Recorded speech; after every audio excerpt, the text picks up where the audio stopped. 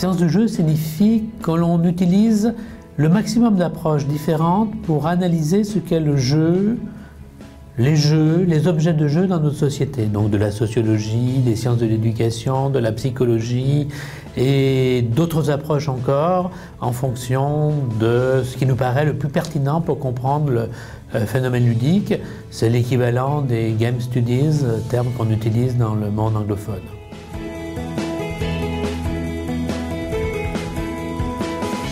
Nous attendons des candidats euh, qu'ils aient une formation minimale en sciences humaines et ou sociales.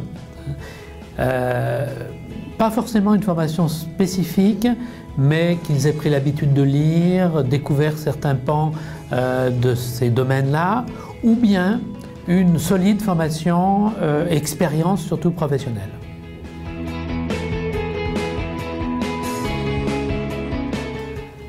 Dans la sélection, ce qui nous paraît le plus important, c'est le projet professionnel. Il faut qu'il y ait adéquation entre le projet du candidat et ce que nous lui offrons. Sinon, il perdra son temps et, nous aussi. Donc il faut vraiment une adéquation à ce niveau-là. Après, bien entendu, euh, les prérequis, euh, le fait d'avoir déjà une expérience dans ce domaine sont importants, mais on juge beaucoup d'après le projet professionnel.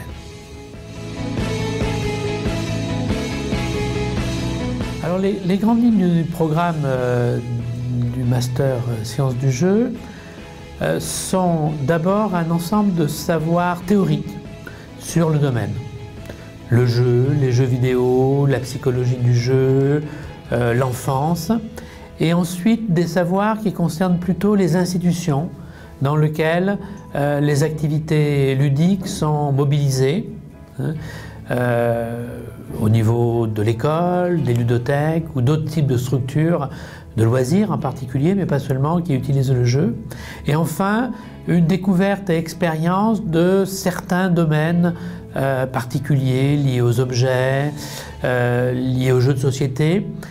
Et on implique aussi les étudiants dans une activité de recherche collective en plus de leur travail personnel nos groupes sont justement relativement hétérogènes et intéressants par leur hétérogénéité, parce que peuvent euh, euh, travailler ensemble euh, des étudiants qui ont une forte expérience professionnelle et d'autres qui n'ont pas cette expérience professionnelle, mais qui sont mieux aguerris aux demandes de l'institution, aux demandes universitaires, et on voit beaucoup de coopération, et la coopération se traduit aussi bien dans le travail que dans le jeu, puisque nos étudiants utilisent souvent tout le loisir qu'ils ont pendant la journée pour jouer, mais jouer pour eux, c'est aussi découvrir des jeux et travailler d'une certaine façon.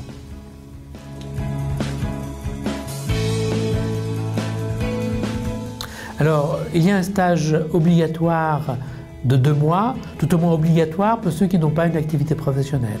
Une partie de nos étudiants sont dans une activité professionnelle et l'activité professionnelle, sauf cas particulier, euh, remplace le stage. Mais effectivement, nous demandons à ce qu'il y ait un stage, et de préférence un stage qui est en relation étroite avec le mémoire qu'il doit faire, le mémoire n'étant pas strictement un rapport de stage, mais quelque chose de plus étoffé et qui suppose une petite recherche dans le domaine euh, du jeu, du jouet, des loisirs.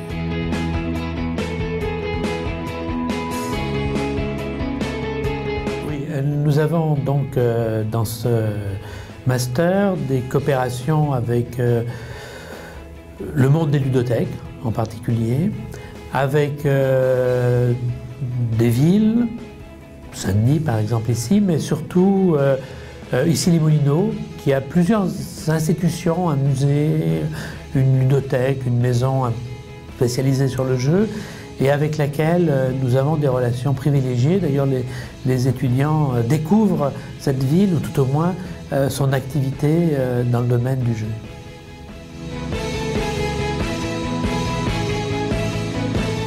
Les débouchés de la formation sont très variables en fonction du passé, euh, soit professionnel, soit universitaire, des étudiants. On ne peut pas dire qu'on forme un seul profil, parce qu'on peut considérer que, cette formation va s'ajouter souvent à un profil préexistant. Et, donc, euh, en conséquence, les, possibilités d'emploi sont. D'abord, un certain nombre sont dans une logique de développement par rapport à leur activité professionnelle et continuent en augmentant éventuellement leur responsabilité dans leur domaine, qui peut être euh, euh, des responsabilités autour du socio-éducatif euh, au sein de municipalités ou d'autres organismes. On peut dire globalement, le débouché principal, ce sont les activités socio-éducatives, qu'elles soient très centrées sur le jeu ou partiellement centrées sur le jeu, dans le monde des loisirs, dans le monde euh, de l'animation. Euh, avec quelques débouchés plus spécifiques, mais qui varient beaucoup selon le profil des, étudiants. On a des étudiants qui peuvent travailler dans des entreprises de jeux et de jouets, mais de, moins en moins en France. D'autres qui travaillent dans le, ce qu'on appelait le multimédia avant, euh, le domaine du, numérique, où souvent on cherche des profils liés au jeu. C'est tout à fait lié à des parcours individualisés. Alors, si on se limite aux étudiants euh, en formation initiale, leur nombre n'est pas très important finalement, parce qu'on a une quinzaine de places, avec une moitié d'étudiants qui sont déjà en activité professionnelle. Donc, les, conditions d'insertion sont relativement bonnes, parce qu'effectivement, euh, on, cherche peu de peu de place. Hein. Si on avait beaucoup plus d'étudiants, ça deviendrait peut-être difficile, mais là on a un équilibre qui fait qu'il est relativement facile pour les étudiants de, trouver un, débouché dans la mesure où leur profil est rare finalement sur le marché du travail. Nous sommes la seule formation euh, spécialisée à ce niveau-là sur le jeu. Sur cette thématique généraliste du jeu, c'est la, seule formation en France. Hein. Il y a pas de, il y a des formations qui intègrent la question du jeu à d'autres niveaux.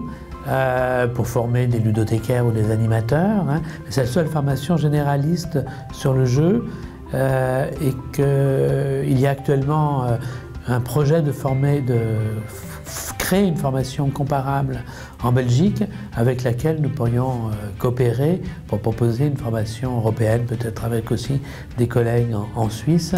Alors, euh, naguère, nous avons, fait des créations de jeux, nous avions abandonné et maintenant nous reprenons euh, l'idée de faire créer des jeux ou des dispositifs ludiques par les étudiants. Nous sommes dotés d'un Fab Lab. Alors le Fab Lab, c'est une structure qui permet à la fois de découvrir le monde des jeux et des jouets, de les étudier et aussi euh, qui dispose d'outils informatiques ou d'outils de, réalisation de maquettes en 3D pour euh, euh, faire des maquettes, réaliser des prototypes de jeux ou de jouets. Et c'est ce qu'on va introduire à partir de l'année prochaine, c'est rentrer dans une logique de, création de jeux, d'autant plus que parmi nos, anciens étudiants, hein, l'un a a gagné un des prix les plus prestigieux hein, pour la création de jeux et nous stimule un peu pour dire euh, il y a vraiment une place euh, à prendre dans la création de jeux, qu'ils soient sur support numérique ou sur support euh, traditionnel.